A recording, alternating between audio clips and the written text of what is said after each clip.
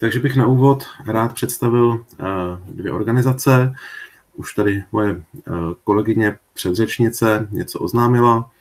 Eh, firma Bot Factory, což je nezávislá konzultační agentura pro virtuální a rozšířenou realitu. Zabývá se tvorbou školení ve virtuální realitě pro firmy. Školení dělají na míru a také přeprodávají existující školení ve virtuálním světě ze světa. Další eh, aktivitou, kterou mají, je zavádění virtuální a rozšířené reality do škol a mezi obyčejné lidi.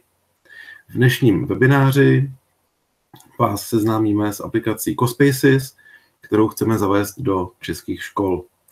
No a druhá organizace, kterou máte vpravo na obrazovce, je Úhlava, eh, nezisková organizace, založená v Klatovech roku 2001, eh, která má teda spoustu aktivit.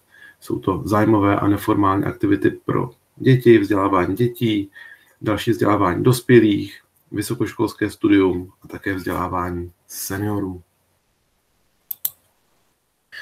Eh, vidíte před sebou osnovu dnešního webináře, to znamená, projdeme postupně eh, těmito tématy, co je to virtuální realita, proč využívat virtuální realitu a tu rozšířenou realitu v školách, jaký je nejsnazší způsob využití virtuální reality a rozšířené reality na školách, jaké přínosy má virtuální realita, potom ta samotná aplikace CoSpaces Edu, což je nejsnazší cesta pro virtuální realitu, Merge Cube, kouzelná kostka, která umožňuje zase pracovat s virtuální realitou, další aplikace ve virtuální realitě a odkazy na materiály a školení pro učitele.